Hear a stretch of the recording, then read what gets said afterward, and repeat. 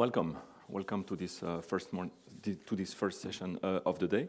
So today we're going to discuss uh, Java EE and its feature, namely EE4J. Um, first, I have to admit uh, that I was a little bit worried about the, uh, coming here, about the weather. So this is my fourth conference uh, in 2018.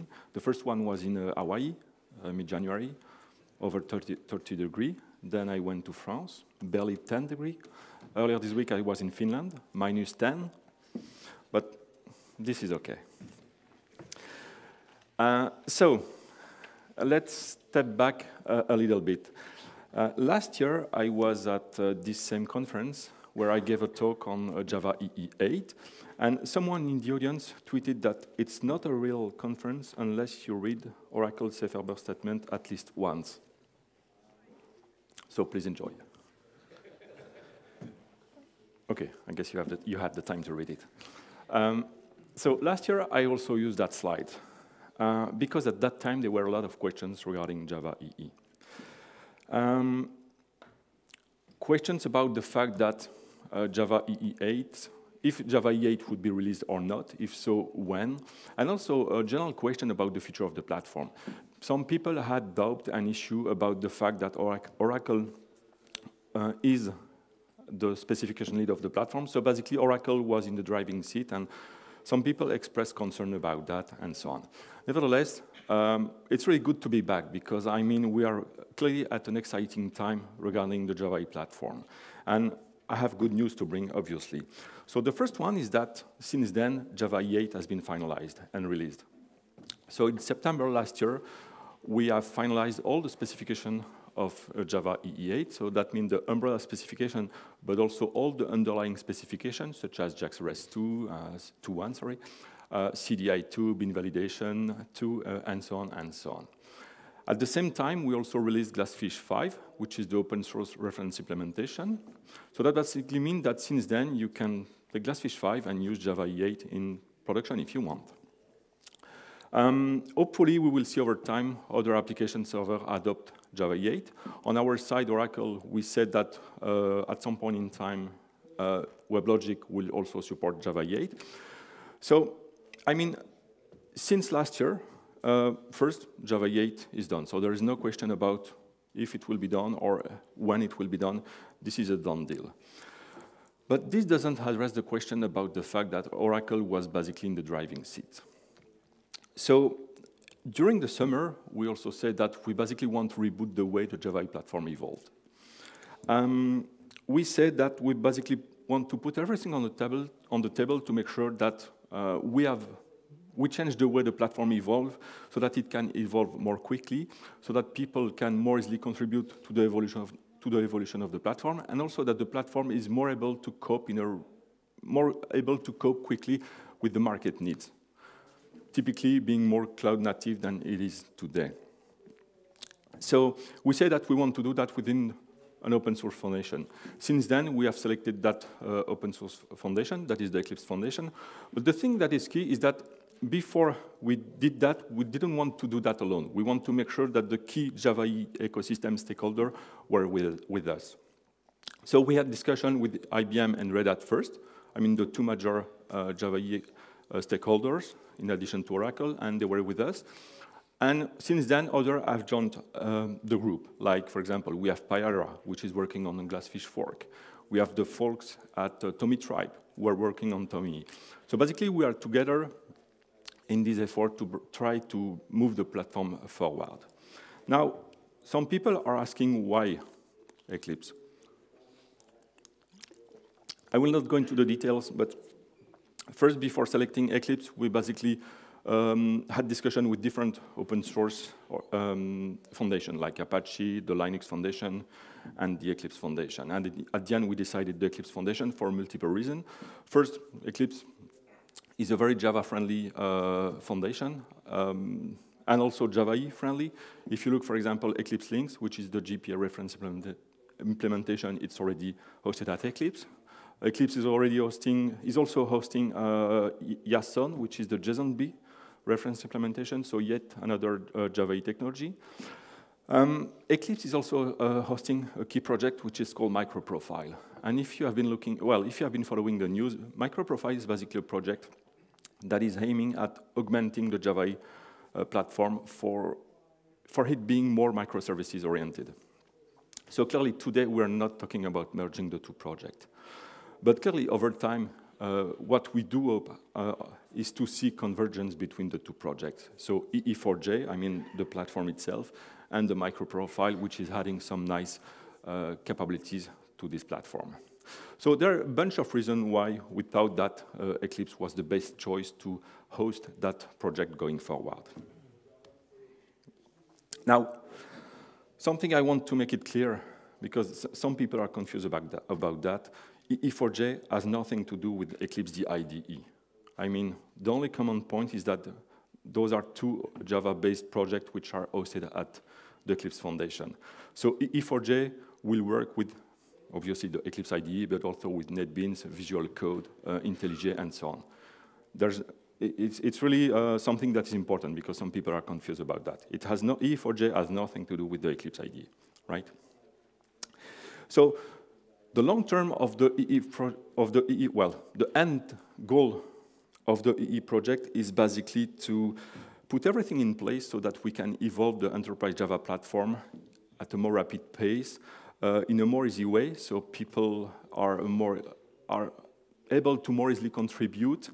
Um, we want to do that in a vendor-neutral way, so it's not Oracle anymore who is in driver, driver's seat to lead that effort. So this is really the end goal, how we can evolve the platform to make sure that the platform stays relevant for the next 10, 50, 20 years that are coming. But before we get there, we have things uh, to do. So short term, the EE4J project objectives uh, are the following. And when I say short terms, we are talking in matter of weeks. First, uh, EE4J wants to, sh to ship a Java E compliant release as quickly as possible. There are multiple reasons why we want to do that. One of the reasons is that um, EE4J will use will start to evolve from uh, Java EE8. So um, we want to ship a Java e, uh, EE4J uh, implementation, so let's call it EE4J 1.0, because we are, right now we don't have a better names. And that implementation will have to uh, be compatible with EE8. So that basically means that you take the EE4J code base and you will be able to build an implementation that is fully compatible with EE8. So we need to do that. That's uh, for multiple reasons. One of the reasons is that we basically have to make sure that everything is working on the EE4J side. So that basically means all the code base, um, also all the testing suite. Given that uh, compatibility is a key aspect of the platform, we want to make sure that whenever we have an EE4J implementation, we have the ability to make sure that it's compliant to uh, the specification, to the technology. And also we have to do that to basically do some kind of, as a proof, so you are able to take the EE4J code base and everything is working, including the build infrastructure, all the repository are there, everything on the Maven side has been uh, solved, and so on. So we think that this is really uh, uh, the first step that needs to be uh, addressed. And it's something that we are working on since uh, quite a few months now. Now, we also want uh, to do that to start to foster an ecosystem around that code base. So we need to do that as soon as possible. And uh, a good example is that no later than yesterday, or maybe it was on Monday, the folks at Lightbend have put a proposal on how they they think that reactive, reactive streams might be used in E4J.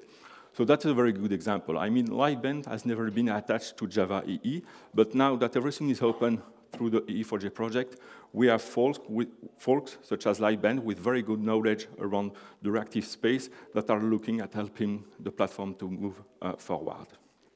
So those are the very short-term uh, objectives of the EE4J project.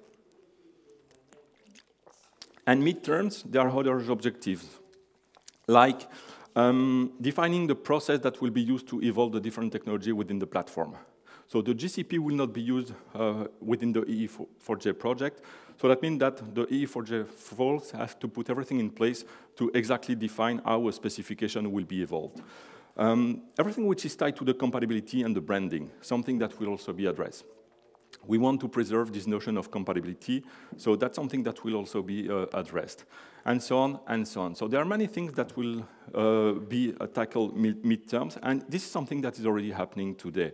So for example, a few, well, I think it was maybe last week, um, there is a draft charter for uh, what we call E.Next working group. So this working group is basically uh, the working group that will tackle all those issues. So the branding, the compatibility, uh, the process to evolve the technology, and so on. And the draft char charter of that group has been um, published, um, I think it was last week. So it's, it's something that is available and that you can already uh, see. So all those goals, so the short-term goals, the mid-term goals, are basically uh, to make sure that everything is in place so that E4J uh, can evolve um, and reach its, uh, its final goals. Now, it's not something that happened overnight. So where are we today? Well, first we have a PMC, so a project management committee uh, that is in place. So the PMC is dealing with all the day-to-day -day activities. Uh, it's composed of representatives from different companies, IBM, Oracle, Red Hat, and so on, and it's led by uh, Ivar Grimstad from Cybercom. Um, something else that is going on is the brand name. So E4J is the project name, and uh, we recognize that the brand is important. So the work is going on to define what that brand will be. And I, I was hoping that I would be able to uh, give you some of the potential name uh, today, but uh, it's, well, it might still happen today, but it's not anyway uh, done uh, as of now. But so we had a bunch of proposals coming from the community. Um, from that, uh, the PMC has made a shortlist. That shortlist went, uh, went through uh, legal and trademark and so on. So very soon, very soon, like it might be still today, we will put that, those um, propose those, so those potential brand name options, and we will ask the community to vote for on those. So now we're talking about an open source project. So where are we on the code front? Because it's nice to work on the brand, it's nice to work on the committee and so on, but if we don't have any code, it's uh, meaningless. Uh, it's not an easy task. Moving everything from the Java organization to the EE4J Eclipse organization is certainly not an easy task. In fact, I think it's the largest project that uh, Eclipse has embarked as of today. So we already have a bunch of uh, GitHub repo which has been created. Uh, like nine, I, th I think. Um, few more are coming very soon, like Eclipse Jersey. Yeah, we need to use those new, those new names now, but Jersey will soon be on the EE4J side. Mojarra, which is the JSF re reference implementation, will also uh, pop up shortly. And then we'll tackle JSON-B, concurrency, security, and so on. And the idea is that over time, I mean, I don't have any definitive date to give, but uh, one, two, three months maybe, everything will be on the E4J side. You will be able to use that code base to, to build a fully Java 8 compatible uh, implementation. So that's basically where we are on the E4J uh, side front. The key thing is that we are putting every, everything in, in, place so that the platform can evolve in a vendor-neutral way and at a more rapid pace. The key aspect from a technology point of view is that E4J will start from Java EE8. So next, I will give you a quick sneak peek on at what's inside Java E8. So that's basically EE4J 1.0. It's really the same. So in uh, Java EE8, the first API that has been updated is JAX-RS. I don't have the time to go in all the details, but I just want to highlight a few uh, key aspects. So in JAX-RS2, Java E7, we have added a client-side capability. So basically an API that you can use to easily consume a REST endpoint. So it works like this. So you have a client-side container. From this client, you need, sorry, from, from this container, you need to have an instance of it. So client builder, new client. From the client, you build a web target. That's basically where on the network my remote endpoint is. And from the target, you build a request. And at some point in time, you invoke the request to hopefully get some answer back from the remote endpoint. The thing is that um, if you look at this example, this is a blocking call. So that means that my, my, my get method will not return until I get the answer from the remote endpoint. Uh, in JAX-RS2, we have also added asynchronous capabilities. So this is the same example, but this time I'm using the async invoker. So you see there is this async method. This is basically used to tell to the JAX-RS client container that this is an asynchronous request. And if you look at the return type of that invocation, it's a future object. So that basically means that I have an object that I will be able to use at some point in time to get the result from the remote endpoint, result or the error which has been thrown uh, during that request invocation. Now, the issue here is that as soon as you do a get on a future object, you are basically blocking again. So we haven't really solved the blocking nature, the blocking issue with that approach. Something else which is uh, available in JAX-RS2 is an asynchronous facility uh, callback that solves that, that blocking issue. So it works like this. So I'm using the async invoker. This is an asynchronous, asynchronous request invocation.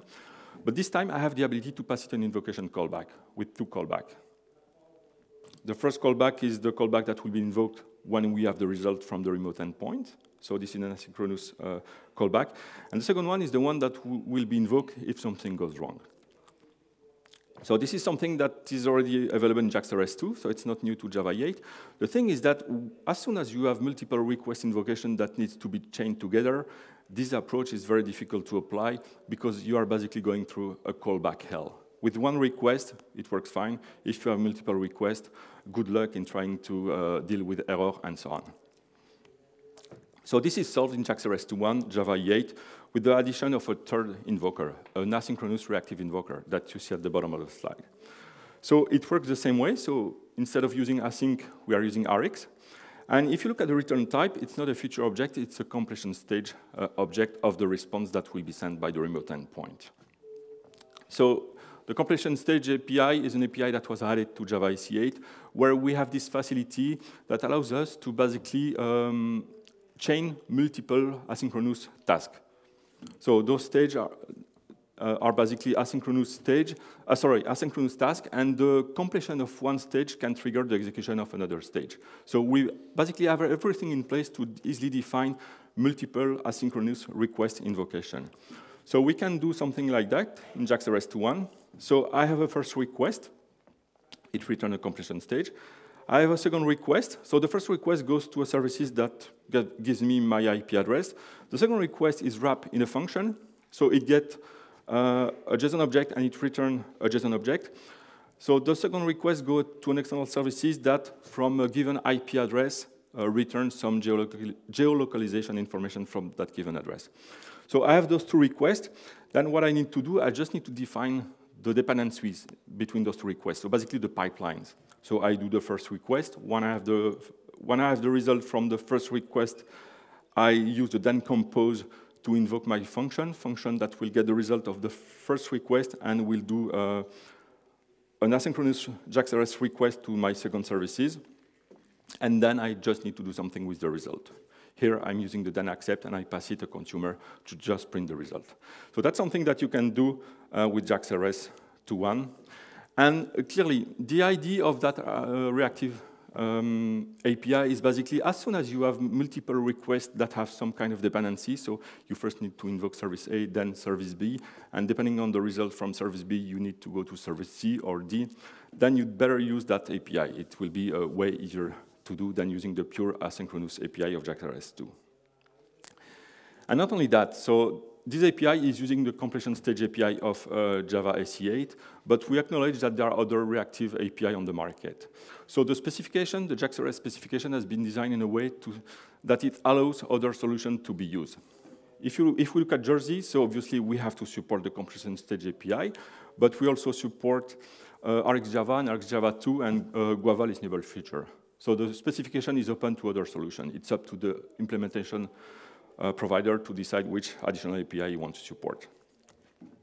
Something else that is part of JAX-RS 2 is SSE, server sent event. So it's basically a mechanism that is used to push in an asynchronous fashion payload from the server to the client. It's one way only, so the client establishes the connection, and then the server has a mean, as a channel to push in an async fashion some payload to that client.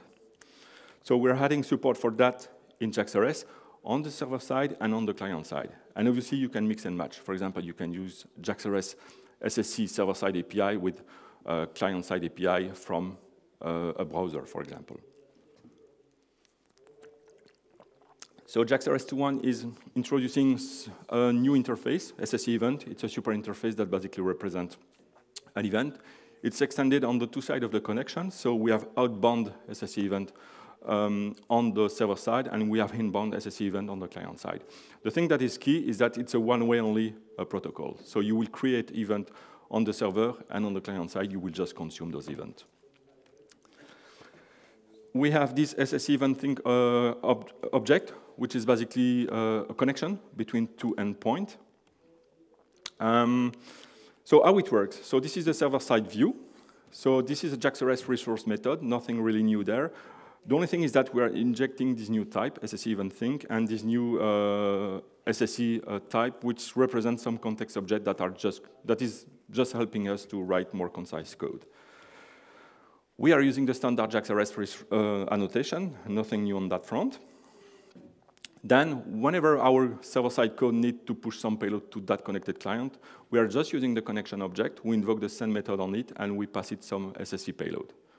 We do that as needed, and obviously at some point in time, we'll have to, we'll have to make sure that we do close the connection.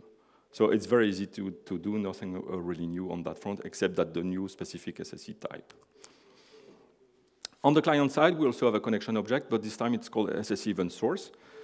Um, it works using, obviously, the JAX-RS client container. So we have a client container. We need to set the web target. That's basically the URL of the remote SSE endpoint. Uh, so we set the target on the connection. We have the ability to, uh, to configure the connection itself, and then we invoke the build method. So that's basically where we build the connection object. We are not establishing the connection here. Then we'll have to register a few callbacks. Uh, the one that you want to make sure to register at least is the one that will consume inbound SSE event type. So that guy will basically be invoked at uh, any time some event is coming on that channel. You can also invoke a consumer that will consume throwable. If something goes wrong, that's where you will deal with the error. And then you just need to uh, open the connection. So you take the connection ob object, open, and you're done. The um, JAX-RS client container will do all, all the heavy lifting uh, uh, for you, establishing the connection, registering the callback, and so on and so on. And we see once you are, when you are done, you need to make sure that you close the connection. So this new reactive invoker and SSE are basically the two main new capabilities that have been added in JAX-RS 2.1, but there, there are a bunch of other uh, things that I don't have the time to discuss today. So let's move on. On the JSON front in Java E8, so uh, EE4J1.0, uh, we have two API. We have updated JSON-P to JSON-P 1.1, and we have added a new binding API, the JSON binding API. So the goal of the JSON-P API, so the update that we did in E8, is basically to adopt new standards from the JSON space. Like, for example, JSON pointer. A pointer is basically a syntax that can be used to easily reference a location within a JSON document. So um, you have example of that uh, syntax there, slash event, slash location. So slash event means we want to have the key value whose key is event. And then within that object, we want to have the key value whose key uh, is location. So it's, it's kind of regex, but for JSON. How it work on the Java side? So we have this JSON P object that is called JSON event, uh, whose, represent, whose JSON representation is on the right side of the slide. So if we want to use a pointer, we first need to create the pointer itself. So slash one slash venue means mean we want to have the object at index one. So we're talking about the second object. And slash venue, want to have the key value in that object whose key is venue. We just have defined the pointer. Now we need to do something with it. So we have multiple operations that we can use. Get value is one of those operations. So in this case, we would get Hilton. Uh, replace is another operation that we can use with pointer. Uh, the thing that is key here is that the JSON-P API is an immutable API. So that means that uh, if you are, for example, doing a replace, what you will get in return is a new object. You will not change the original object. So that's something important to keep in mind. So we have get value, we have replace, and um, we also have had remove and contains value operation that we can use with JSON pointer. So it's a very easy to use API to basically uh, deal with um, JSON document. Another standard that is part of the JSON P11 update is JSON patch. Again, the name is very obvious. A patch is basically used to modify a document. So JSON patch, we have a JSON document that contains one or more operation that will be applied to another, to another JSON document to modify that JSON document. The patch is atomic, so if one of the operations that you have in your JSON patch fails, the complete patch uh, will be aborted. So this is an example of the patch. So on the left side, you have the patch. On the right side, you have the target. So basically, which the document that you want to apply the patch to. So the first operation is an replace operation. We are using the JSON pointer syntax. So we basically want to replace um, Hilton. So slash zero means the first object, slash venue, we want to replace the venue within that object. So we basically want to replace uh, Hilton with Moscone West. Fine. It works, so we can move on to the next operation, which is an add operation. So we want to add a new key value. Uh, and this case, in this, this, in this example, we want to have the previous name key value within object uh, zero. So we basically want to add previous venue and uh, Hilton. So this is basically how it works on the uh, JSON side. Now, if we look at the Java API that is part of JSON P11, it's a very simple API too. So we have two JSON documents. So we have a JSON document that contains one or more oper operations, so that's basically the patch, and then we have another JSON document that we will apply the patch to. So first, we need to create a patch from a JSON document, so JSON create patch, we pass it a JSON document, and then we just need to apply the patch to a JSON target. Again, this is an immutable API, so what I'm getting here is a new object. I'm not changing the original object. Now, we also have this uh, builder pattern-based API that we can use to uh, basically dynamically construct and more easily construct uh, a JSON patch. So this time we have a copy operation, we have a replace operation, we have a add operation, and obviously we need to build a patch. And once we have the patch, we need to apply the patch uh, to a target. So that was a very short overview of JSON P11. Uh, JSON P11 also had support for JSON merge patch. So it's a different way of modifying a JSON document. Um, so we have patch and merge patch in JSON P11, but we also, so patch and merge patch are used to modify a JSON document. We also have the reverse operation. So basically a diff operation that will give you, for example, a JSON patch that will describe the difference between two JSON documents. Uh, JSON P11 also had support for uh, JSON P collectors, so you can use the Stream API without having to define your own custom JSON P collectors. It's something that is provided by the JSON P11 API, and so on and so on. So a lot of good stuff in JSON P11. But more importantly, what we are doing on the JSON front is that we're adding a new API that will basically do the marshalling and unmarshalling from Java object to and from JSON document. So the specification, the JSONB specification defines the default behavior. So if you don't specify anything, you will obtain a very common behavior. And obviously, you as a developer will have the ability to override uh, that behavior. So this is an example. So uh, we have a POJO. It's a list of events. So it's a Java object. And we want to turn that into a JSON document that we have on the right side. So how the JSON API works. First, we need to have a JSONB object. Everything is done on that object. So JSON builder create will get us that object. I'm not specifying anything, so that means that I will basically get the default uh, behavior. And then I just need to use on my JSONB object the toJSON method. I pass it my Java object, and what I get in return is a string that will contain uh, this JSON uh, representation that we have on the right side. So it's very easy to, to, to use. Obviously, it works the other way around. So this time uh, we have a string with a given JSON payload that we have on the right side, and we want to convert that to a Java object. Again, I need to have an instance of a JSONB object, JSON, build, JSON builder create. I'm not specifying anything, so that is the default behavior that I will get. And then instead of using the toJSON method, I will use the from JSON method. So from JSON, I pass it my uh, JSON payload and also pass it the type that I want to, cast to, to be cast to. And I will get a Java object that would contain all, basically all the information, all the payload that is in my JSON document. Obviously, you have the ability to customize the behavior of the JSONB API. So for example, if you look at the top right side of the slides, Um, if, so if I don't specify anything, my uh, value for the event name would be event name. That's basically the, the field value, the, the default value. But given that I'm using this new annotation at JSONB property, it, would be, it will be conference instead of uh, event name. So we have a few annotations that we can use in the JSONB API to basically override the default behavior, so customize the API. You can apply that at a different level. But name, well, the field name is not the only thing that you can uh, customize. So you can customize the naming strategy. So we provide, I think, seven uh, different naming strategy, and if that's not enough, you have the ability to add your own. In which order the property should be laid out? Uh, what should we do if you have binary data to deal with? Um, maybe there are some, so in the transformation, there are some property that, that doesn't need to be carried over because, for example, they are compute or they are irrelevant. What should we do with null values? By default, they are ignored, but in some case, you might want to carry them during the conversion, and so on and so on. So there are a bunch of things that can be uh, customized.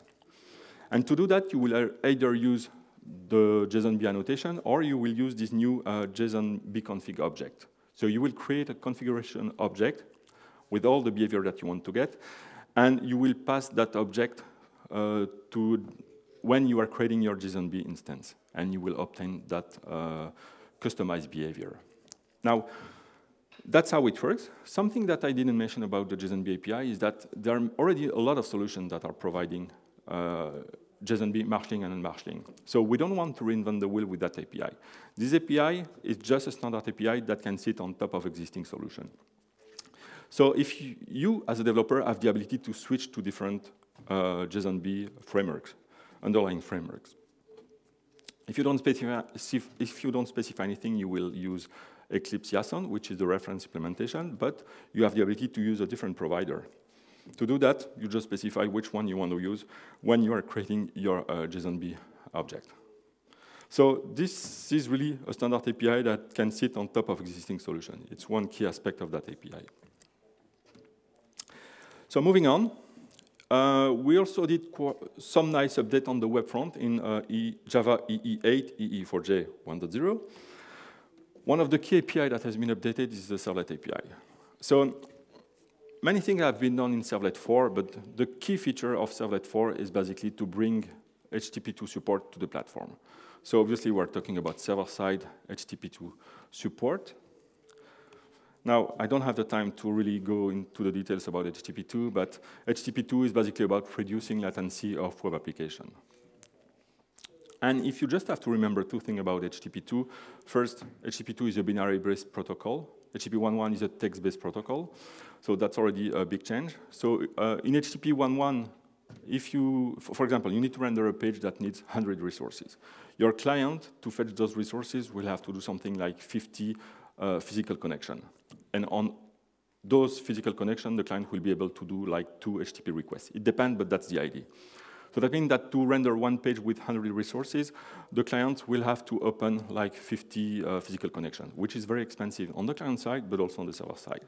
In HTTP2, everything happens over one single TCP socket. So we have one connection, and over that connection, the client can open multiple logical con connections, which are called streams. So it's way more efficient so this is one of the big differences between HTTP2 and HTTP 1.1. HTTP2 is binary-based.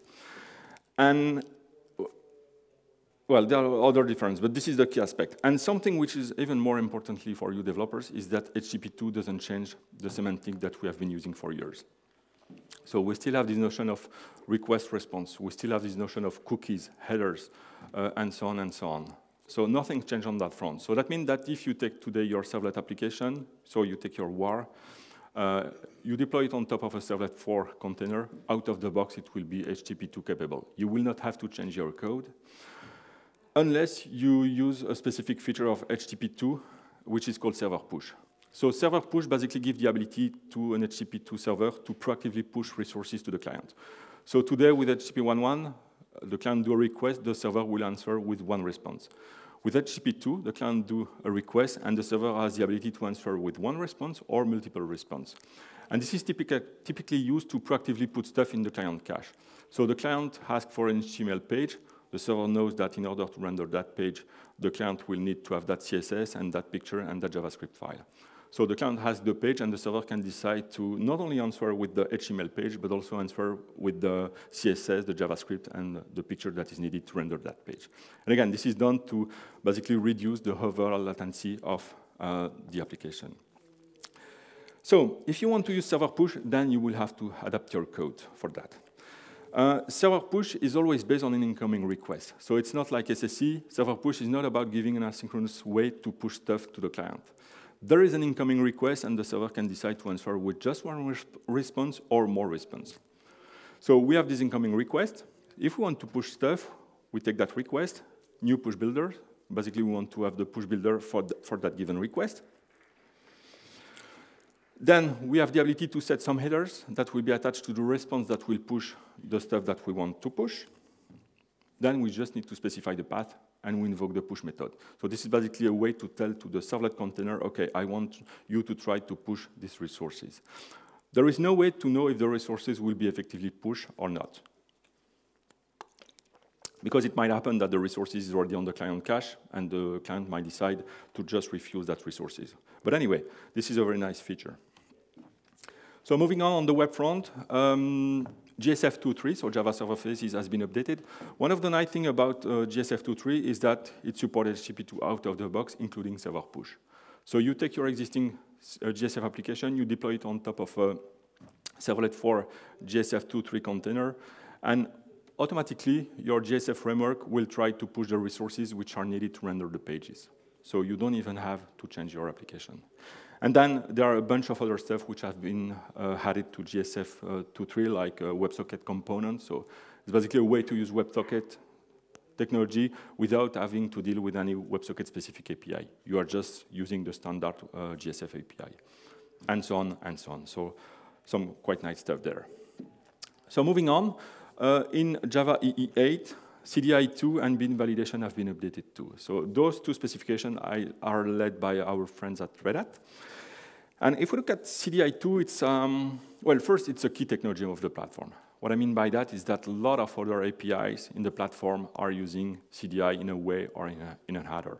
Bean validation, C, uh, JSF, uh, JAX-RS, uh, the security API, and so on and so on. So basically, all those API are using are relying on uh, CDI. The issue with CDI is that it's a quite large specification. For us, it's not a, it's not, it's not really an issue. But if you are going to use CDI in a very lightweight application, typically a Java SE application, that's an issue for those persons. So the CDI uh, 2 specification has been made more light. So the specification has been split in three. So there's CDI core, based on that there's CDI for Java SE, and then based on that CDI for Java E. Obviously, we, Java E, are consuming the whole thing, CDI for Java EE. And CDI2 also define how you can bootstrap a CDI container using just Java SE. Again, it's not something that is important for us Java developers today because CDI, the CDI lifecycle is managed by the Java E application server. So it's not something that we have to take care about. But anyway, that's something that might be useful going forward. So a lot of good stuff in uh, CDI2, but typically those new features are not really interesting uh, for us Java developers. Now, it doesn't mean that CDI2 doesn't bring new capability for us. So something that we have in CDI since the beginning is this uh, event-based uh, API that we can use to, in a loosely fashion, fire event and consume those events. So Somewhere in my application, I fire, I fire, an event, I have the ability to attach some payload, and somewhere else, I will have at least one consumer. So a consumer is basically just a simple method that is using it as this at observe annotation to turn it into uh, a consumer. Obviously, my consumer will have the ability to will have the ability to work on the payload that has been attached um, to the event. I can also have multiple consumer, uh, mul yeah, multiple observer um, the problem is that when you have multiple observers, you don't know in which order they will be invoked. And this is solved in CDI2. You can define an ordering of uh, observer. The trick here is that we are using the at priority annotation, and lower the priority, higher the order will be. So 10 will be invoked before 20. This is how the, this uh, annotation works. So it's, it's, it's something that you need to keep in mind. The thing is that if you're looking at those uh, observers, everything, everything is done in a synchronous fashion. So I fire an event, and within the same thread, I'm consuming my event. So that means that my uh, producer will only uh, continue to, uh, well, will only continue when the observer uh, is done. This is solved in CDI2 because now we have asynchronous event support. It works exactly the same way, but this time we're not using the fire method, but we are using this new fire async method to specify that this is an asynchronous uh, invocation. And if you look at the return type, this is a completion stage um, object. So this is an object that we can use to get the result of the consumer, of the observer, sorry, uh, at some point in time. And this is an object that is very useful too if we want to see if something went wrong. And obviously, if we fire an event, we'll have to consume those events. So this is an asynchronous observer. We are just using this new at observes uh, annotation, right? So this is, uh, this, well, for me, this is one of the key aspects of CDI2. Moving on, uh, bean validation 2. Um, a lot of the lot of update in bean validation 2 to cope with uh, Java SE8. So Java EE8, EE4J1.0 is based on Java SE8. So whenever we had to do an update, we tried to make sure that we were leveraging Java SE8. You saw that CDI2 is using the completion stage API of uh, Java uh, SE8. Bean validation 2 is also trying to do that. So you have the ability, for example, to do constraint validation with the new optional type, container, sorry. Um, you, given that you can apply annotation in Java SE8 to different uh, location, we can now, for example, do validation on containers. So we have a list, for example, and we want to apply a validation on all the elements of a list. It's something that we can now do with bean validation. We can do constraint validation using the new date and time API, and so on. So a lot of good stuff that are based on uh, the new Java SE8 capabilities in bean validation 2. And then bean validation 2 is also adding new uh, constraint validation that were part of Hibernate Validator, which is the reference implementation. And basically, they are taking those constraint validation, which were widely used, and they, they've standardized them so that they can be more uh, broadly uh, be made available. So that's a very, a very quick sneak peek at bean validation 2. And last but not least, we're also adding a new security API in uh, Java EE8. Now, the name is a, little, is a little bit misleading because the fact that we're adding an API doesn't mean that the platform was not secure before. The goal of this API is really to simplify how you can apply security concern in your Java EE code and also fill some gaps that uh, we had. So one of the things that is added in this API is the concept of an identity store. An identity store is basically uh, a location where you will store all the user details. Uh, out of the box, so the specification defined two identity store. We have an LDAP one and a data database one. And to use those identity store, you just rely on the annotation. This is an example, for example, for using the database identity store. So it's something that is very convenient. You also have the ability to add your own identity store. So if you are not using database or LDAP to store your user, you can define your own identity store. Something else that we're adding in the security API is a new authentication mechanism for web application. Again, we already had authentication capabilities in the Java platform, but this was done through uh, the JASPIC API, which is, which is a very difficult to use API. The goal is, here is to provide a very simple approach to, to apply in a programmatic fashion authentication for web, web application. So we support three uh, authentication mechanisms right now in this API, basic auth, form auth, and custom form auth. Um, we know that it's not enough. Something that I, sorry, I forgot to mention is that obviously the authentication mechanism ideally should rely on the identity store. Uh, it makes sense. So if you want to implement a new authentication mechanism in something, it's something that is very trivial uh, you have this interface, and I think there is only the validate request method that really needs to be implemented. So it's something that, um, that is easy to do. So, sorry, this is an example on how all of that works. So we have a servlet, we want to secure that, that servlet, so we put a constraint, and only the user in role foo are allowed to access that uh, resources. So I inject an HTTP um, authentication mechanism that happens to be a custom one. So I'm providing a specific authentication mechanism. So I need to implement the validate request method. And not only that, I also want that my, my custom authentication mechanism rely on an identity store, which happen to be a custom one that I've defined. So you see that basically using this new API really simplify how you can uh, put all the security concerns, all the security piece together. So we're getting towards the end. So wrap up. Java E8 is basically about modernization of the platform and simplification of the platform. So I went, I, so today I give you a very quick overview of some of the new capabilities had, that have been added in Java 8. Uh, but th there are more capabilities than that. For example, I didn't talk about JPA, which has been updated to support the stream, the, the, sorry, the Java SE8 Stream API. So there are a lot more stuff to Java 8 than just what I covered today. The key thing is that uh, Java 8 is available, is available today, and we are clearly an, at an exciting period for um, Java 8 because we have Java 8, which is done, and uh, we are also working on EE4J. So basically, how we can evolve the, the, the Java platforms a, at a more rapid pace with more community uh, engagement. And I think that, well, we already start to see some of the results uh, of that effort. I mean, uh, having the lib and folks that want to help EE4J is, uh, is already a big win. And we are just at the beginning. We don't, have ev we don't even have yet an EE4J 1.0 implementation. But that's clearly the, the short-term goals. Having as soon as possible everything on the EE4J side to make sure that we can build a Java E8 uh, compatible imp uh, implementation. So if you are interested, I would clearly encourage you to uh, look at what is being discussed within the EE4J project. For that, uh, you should at least follow that mailing list. There are a lot of discussion going on, uh, but it clearly shows that there are a lot of interest uh, around that.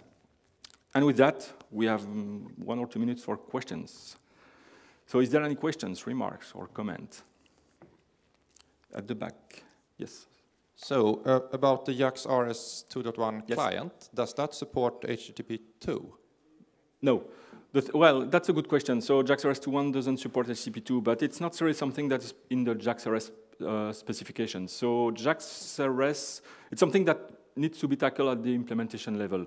Having said that, um, I'm not really, well, we're not really sure that HTTP2 will bring a lot of benefit to uh, REST services at this stage. But that's a good point. That's something that needs to be investigated.